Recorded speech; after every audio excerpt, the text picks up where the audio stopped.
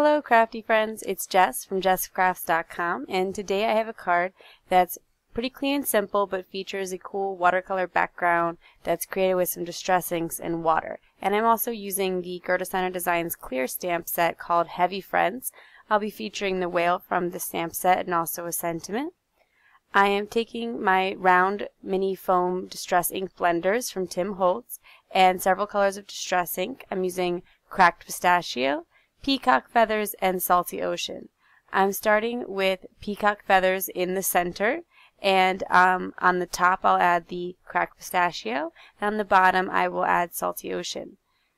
For today's card I wanted to incorporate the cracked pistachio green color. I like that blue green as an ocean color and it's not one that I've got a chance to play with yet. In the past I would usually use tumbled glass, peacock feathers, and salty ocean.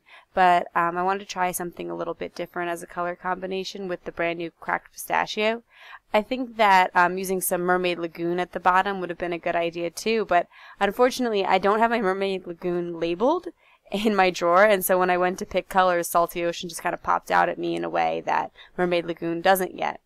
And so as I continue to blend it, uh, the um, colors on, I wanted to leave the edges not as blended out like a softer color so I'm laying down heavy color in the center of the card and only a little bit of color as it gets towards the edges. I just want to create kind of a fade away effect and center most of the attention inside the card.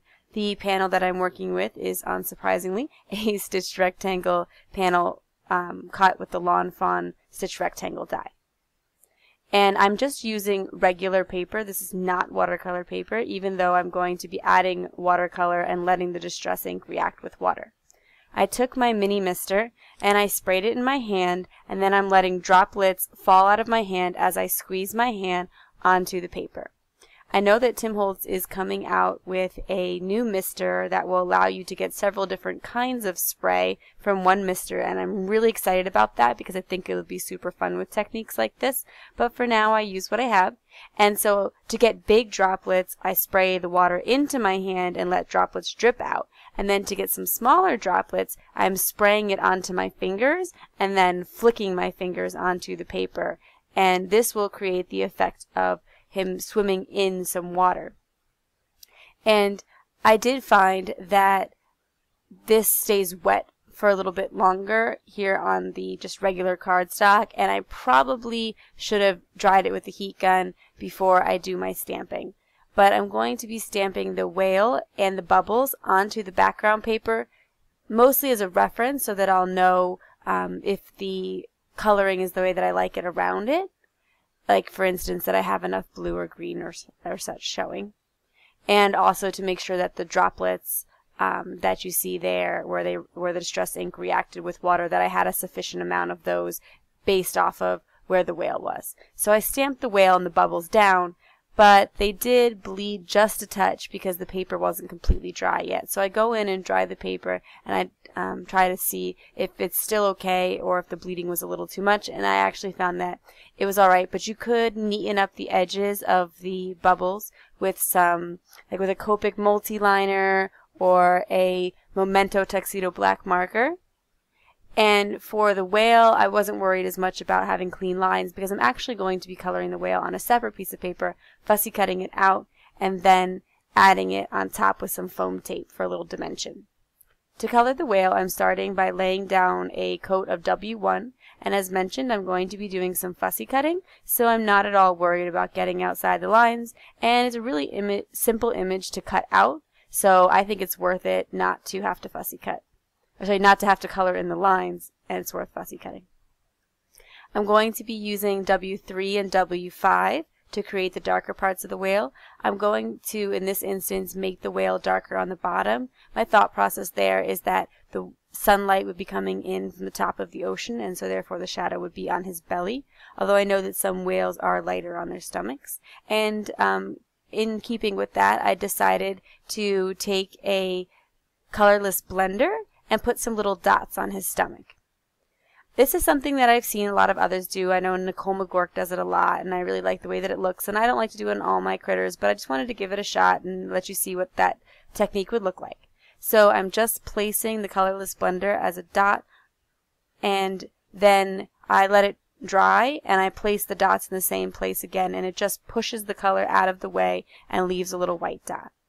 For the bubbles, I'm just taking a really light blue, I think it's a B60, and coloring in the bubbles just a little bit so they stand out somewhat from the paper, but I'll also be adding glossy accents, which will really make those bubbles pop.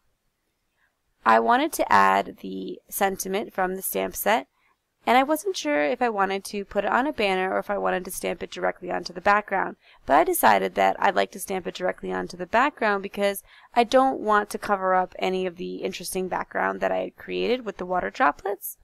And so this turns out to be a really clean and simple card because the sentiment's directly on, while there is two layers because I wind up layering the stitched rectangle panel on a solid cardstock and then onto the card base like I normally do, um, there's no sort of embellishment layers.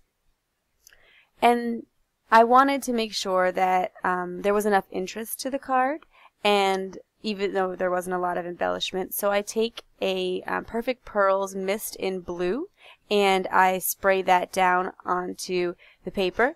When you use the Perfect Pearls Mist, I recommend making sure that it's completely mixed in, the sparkle on the bottom, so you turn the bottle over and you make sure none of the sparkle powder is sitting on the bottom.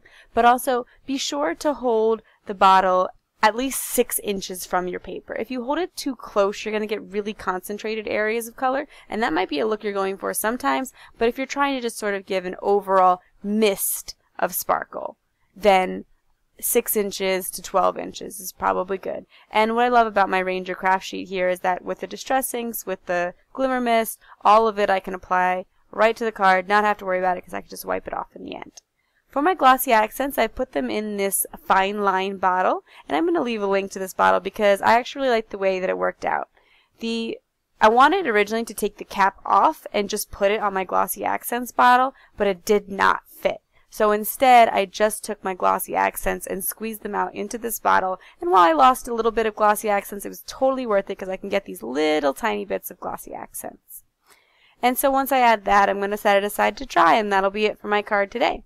If you like this video, please give it a thumbs up. If you're interested in more crafty videos, you can always subscribe to my channel. I'm going to leave links to the products in the video description below and to the Gerda Steiner Designs website where you can pick up this clear stamp set. Thanks for watching. Bye.